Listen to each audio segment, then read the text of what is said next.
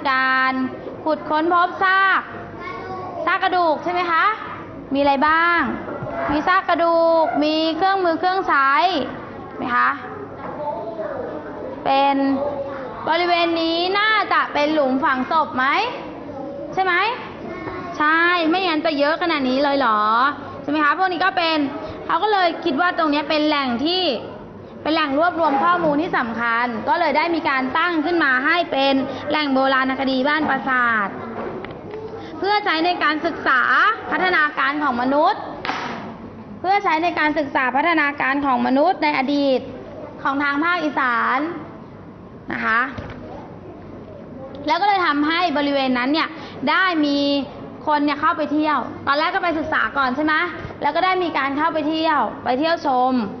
ก็เลยทำให้เศรษฐกิจบริเวณนั้นดีขึ้น ก็เลยส่งผลส่งผลให้ชุมชนนั้นนะมีการ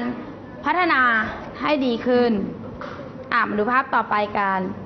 ข้อที่สามคือ ชุมชน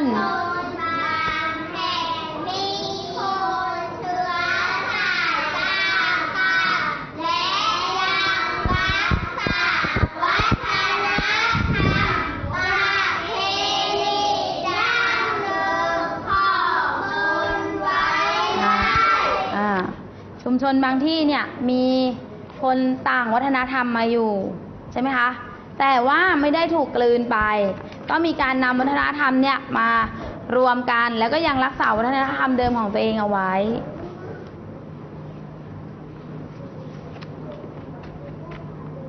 จำหมดเลยค่ะ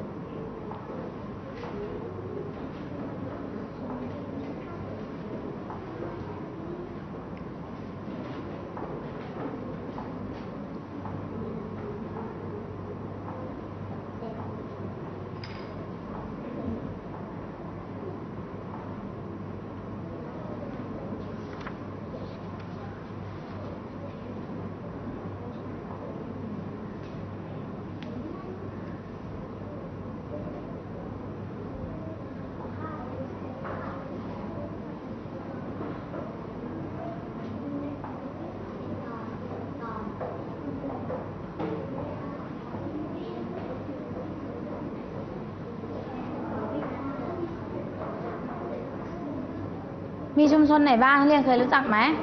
ที่มีคนที่มีเชื้อสายต่างกัน มาอยู่รวมกันแต่ก็ยังมีการรักษาประเพณีของตัวเองไว้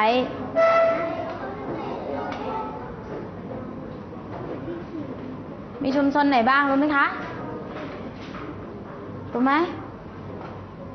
ไม่รู้เลย ใครตอบได้ยกมือแล้ว แย่งกันยกเลย ไม่รู้จะเลือกใครเลย ใช่ไหมแย่งกันยกมือเลย ถ้างั้นเดี๋ยวคุณครูเริ่มบอกก่อนก็ได้ อะ มาดูกันเลยว่าชุมชนแรกเนี่ย เป็นชุมชน ชุมชนอะไรกาะเกรดรู้ได้ยังไงทราบได้ไงคะอ่าเป็นชุมชนที่มี คนไทยเชื้อสาย มอญอยู่อาศัยอยู่รวมกัน คนไทยกับคนมอญอยู่ด้วยกันใช่ไหมคะ ก็ยังมีการยังคงรักษาวัฒนธรรมของมอญไว้ มีอะไรบ้างที่เป็นวัฒนธรรมของเขาทราบไหมทราบไหมคะอ่ามาดูกันแม้ยังมีการอาศัยบ้านเอ้ยอยู่อาศัยอยู่ร่วมกัน ใช่ไหมคะ อาศัยอยู่รวมกันเหมือนเดิม เหมือนเขาเลย แล้วก็มีเจดีนี่เห็นไหมมีการแต่งกาย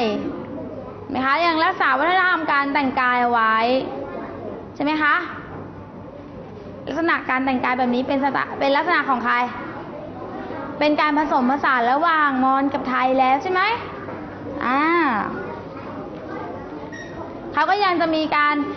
อ่อสิ่งที่ยังเหลืออยู่คือความเป็นอยู่ การใช้ชีวิตการดำรงชีวิตนะคะ ต่อไปนี่อาหารการกินก็ยังมีอาหารที่คนมอญอยู่ แล้วก็มีการทำเครื่องปั้นดินเผาใน รูปแบบของมอญที่เป็นเอกลักษณ์ของเขาอยู่นะคะ ต่อไปอันนี้คือภาพของกระเป๋าอะไรทราบไหมทำมาจากอะไรทราบไหมผลิตมาจากอะไรผ้าอะไรอะ ฮะเป็นชุมชน ชาวไทยพวน รู้จักไหมคะไทยพวน ไทยพวนนี่อยู่ที่บ้านมีจังหวัดลบบุรีนะ ก็ได้มีขึ้นชื่อเรื่อง การผลิตกระเป๋า อันนี้เป็นอะไร เป็นใหม่เป็นได้เฉพาะอย่าเฉพาะที่เฉพาะถิ่นของเขานะคะก็ได้มีการทำเสื้อผ้าแล้วก็มีการทำเป็นเครื่องมือเครื่องใช้ สำหรับใช้สอยและได้มีการแต่งกาย ยังมีเอกลักษณ์การแต่งกายของไทยพวนอยู่ ใช่ไหมคะนักเรียนเคยรู้จักไทยทรงดำไหมเคยได้ยินคำว่าไทยทรงดำไหมเคยไหมคะไม่เคยอะลองไปดูในห้องสมุดนะ เรามีอยู่นะ นี่ก็เป็นเอ่ออีกวัฒนธรรมหนึ่งเหมือนกันอะต่อไปนี่คือภาพของ ภาพอะไรเนี่ย เขาน่าจะนับถือศาสนาอะไรนะ กลุ่มคนกลุ่มนี้ อิสลามใช่ไหมคะเพราะมีการแต่งกายที่ต่างไปมีผ้าโพกหัวด้วย เป็นชุมชนชาวไทยมุสลิม อันนี้อยู่ในเขตกรุงเทพนั่นเองใช่ไหมคะก็ได้อยู่รวมกับคนไทยได้ใช่ไหมได้มีการแต่งกายยังมีการรักษาการแต่งกายแบบนี้อยู่ และก็ยังมีอาหารการกินที่เป็นของเขาอยู่ นี่ก็เป็นอาหารการกินของเขามีอะไรบ้างเนี่ยภาพภาพบนนี้คืออะไรที่เป็นข้าวเนี่ยค่ะ รู้จักไหมว่าข้าวอะไร ข้าวเหลืองๆเนี่ยกินไม่เคยกินหรอข้าวหมกไก่เคยกินไหมเนอะนั่นนั่นแหละประมาณนั้นเลย และนี้ล่ะ อันนี้คือ โรตี ใช่หรือเปล่า อ่า นะคะ นี่ก็คือยังยังมีการ ยังมีอาหารการกินมีการใช้ชีวิตอย่างเดิมอยู่ อันนี้ก็ยังเป็นอาหาร ต่อไปมังกรแห่งสยามที่ไหน ที่ไหนคะ ที่อ่าชุมชนเชื้อสายจีนอยู่ที่เยาวราชนี่เองนะเคยได้ยินไหมคะนะส่วนมากจะมีคนจีนมาอาศัยอยู่รวมกันเยอะ ก็จะมีการประกอบอาชีพ ของเขาเนี่ยส่วนมากจะเป็นพ่อค้าทองใช่ไหมอ่าเพราะว่าขึ้นชื่อเรื่องทองนี่เห็นไหมยังมีการดำรงชีวิตอยู่มีวัฒนธรรมเหมือนเขาคือการทำลายแฮมมังกรใช่ไหมคะ มีการแต่งกายแบบจีนอยู่นะภาพนี้คือภาพนี้คือภาพอะไรคะ เป็นพวกชุมชนชาวผู้ไทย ผู้ไทยก็อยู่แถบนครพนม เขาก็จะมียางเก็บรักษา วัฒนธรรม ภาษาและการดำรงชีวิตของเขาไว้ เห็นไหมวัฒนธรรมก็คือมีการยังมีการปั่นได้อยู่ใช่ไหมคะนี่ยังมีการเอ่อการกินอาหารการกินยังดำรงแบบเดิมอยู่นนี้คือการแต่งกายแบบผู้ไทยนั่นเอง อ่าทีนี้มาดูกันว่า ชุมชนเหล่านี้มาจากไหน ชุมชนเหล่านี้มาจากไหนมาดูกัน ชุมชนบ้านดอกไม้นี่เคยได้ยินไหมอ่าชุมชนบ้านดอกไม้เคยได้ยินเปล่า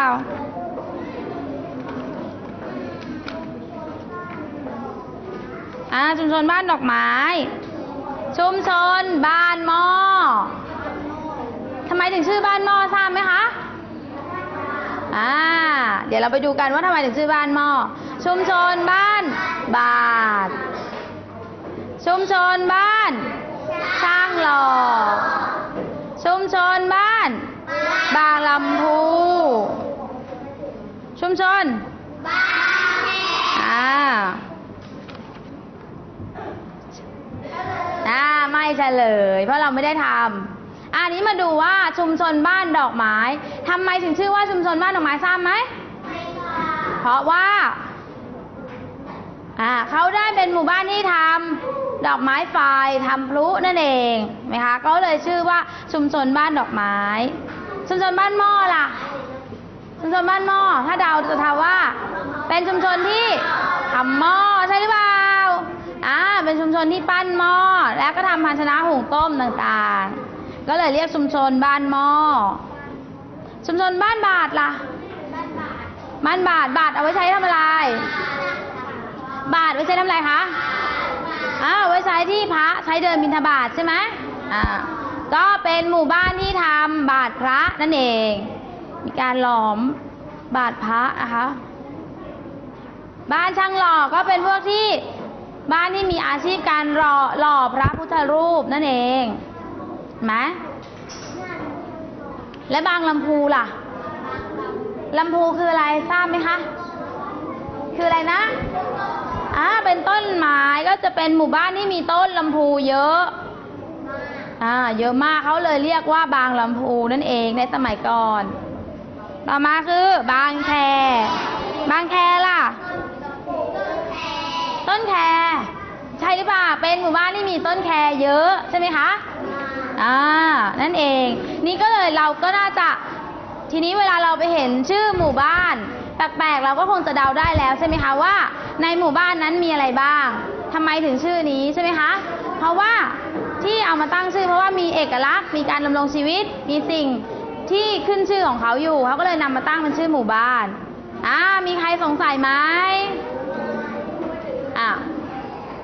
ที่เอามาให้ดูเรื่องเกี่ยวกับชุมชนนี่ก็คือเราจะได้ นำเรื่องมาสืบเนื่องได้ ถ้าเราจะต้องค้นคว้าว่าในชุมชนเรามีอะไร โดดเด่นใช่ไหมคะ เพื่อที่จะทำเส้นเวลาเราจะได้ทำได้ ใครมีอะไรสักถามเกี่ยวกับเส้นเวลาไหมคะ มีไหมไม่มี เพราะฉะนั้นวันนี้เท่านี้ค่ะ สวัสดีค่ะขอบคุณค่ะคุณครูค่ะ